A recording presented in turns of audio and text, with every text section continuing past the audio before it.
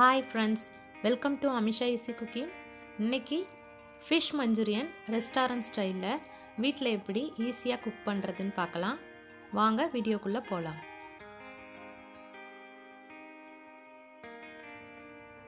Fish manchurian செய்கிறதுக்கு நான் phone இல்லாமல் ஆஃப் கேஜி திருக்கை மீன் எடுத்து வச்சுருக்கேன். இதை மேரினேட் பண்ணிக்கலாம். முதல்ல ஒரு டேபிள் ஸ்பூன் போல் chilli powder half tablespoon போல் மல்லித்தூள் சேர்த்துருக்கேன். கொஞ்சமாக உப்பு சேர்த்துக்கலாம். ஒரு டேபிள் ஸ்பூன் போல் ஜிஞ்சர் கார்லிக் பேஸ்ட். அடுத்து ஆஃப் டேபிள் ஸ்பூன் போல் மிளகுத்தூள் சேர்த்துருக்கேன். அடுத்து one and half tablespoon மைதா சேர்த்துக்கலாம். ஒரு டேபிள் ஸ்பூன் போல் கார்ன்ஃப்ளவர் சேர்த்துருக்கேன். அடுத்து கலருக்காக half tablespoon Kashmiri chilli powder சேர்த்துருக்கேன். ஃபைனலாக நம்ம ஆஃப் லெமன் இதில் நம்ம பிழிஞ்சு விட்டுக்கலாம். இதை நல்லா மிக்ஸ் பண்ணி விட்டுக்கலாம். அடுத்து டுவெண்ட்டிலேருந்து ஒரு தேர்ட்டி மினிட்ஸுக்கு இதை நம்ம ஸ்டேபிளாக வச்சிடலாம். அடுத்து கடாயில் எண்ணெய் ஹீட் ஆனதும் நம்ம மேரினேட் பண்ணி வச்சுருக்கிற ஃபிஷ்ஷை ஃப்ரை பண்ணி எடுத்துக்கலாம். ஸ்டவ்வை மீடியம் ஃப்ளேமில் வச்சு ஃப்ரை பண்ணோன்னா ஃபிஷ்ஷும் நல்லா குக்காகி இருக்கும். ரொம்ப ஹை ஃப்ளேமில் இருந்தால் கருகிடும்.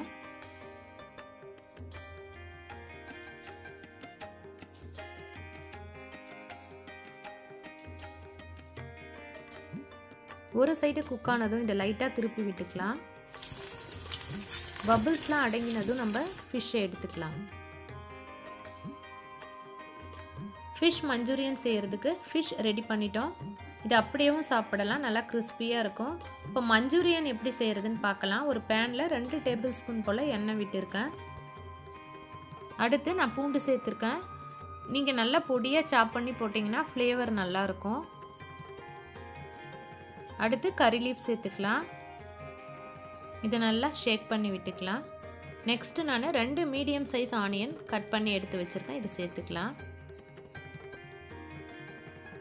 இது லைட்டாக வதங்கினா போதும். அடுத்து இதில் கொஞ்சமாக உப்பு சேர்த்துக்கலாம். நம்ம ஃபிஷ்ஷு ஃப்ரை பண்ணும்போது உப்பு சேர்த்துருக்கோம். அடுத்து ஆஃப் கேப்சிகம் கட் பண்ணி இதில் சேர்த்துருக்கேன். இது லைட்டாக வதங்கட்டும்.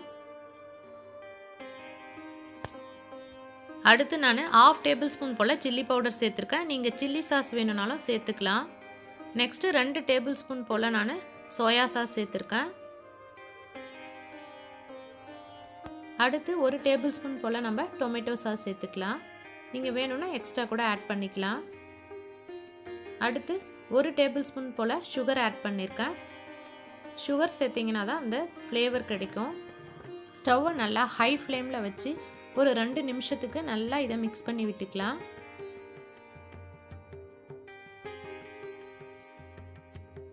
அடுத்து ஆஃப் டேபிள் ஸ்பூன் போல் கார்ன்ஃப்ளவர் மாவு எடுத்திருக்கேன். இதை தண்ணி விட்டு நல்லா கரைச்சிக்கலாம். இதையும் அதில் ஆட் பண்ணிக்கலாம். ஒரு தேர்ட்டி செகண்ட் வந்து இதை நல்லா மிக்ஸ் பண்ணி விட்டுக்கலாம். அவ்வளோதான் மஞ்சூரியன் ரெடி இப்போ ஃப்ரை பண்ணி வச்சுருக்கிற ஃபிஷ்ஷை இதில் சேர்த்துக்கலாம். இந்த ஃபிஷ்ஷு நல்லா இந்த மஞ்சூரியன் மசாலாவில் நல்லா கோட் ஆகணும். ஃபிஷ்ஷை நல்லா கோட் பண்ணிக்கலாம்.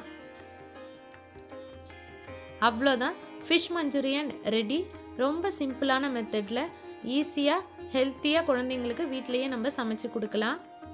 என்னோட other gobi manchurian recipe description பாக்ஸில் இருக்குது கண்டிப்பாக பாருங்கள் அமிஷா ஈஸி குக்கிங்கை லைக் பண்ணுங்கள் சப்ஸ்கிரைப் பண்ணுங்கள் மறக்காமல் பெல் பட்டனையும் ப்ரெஸ் பண்ணுங்கள் தேங்க்ஸ் ஃபார் வாட்சிங்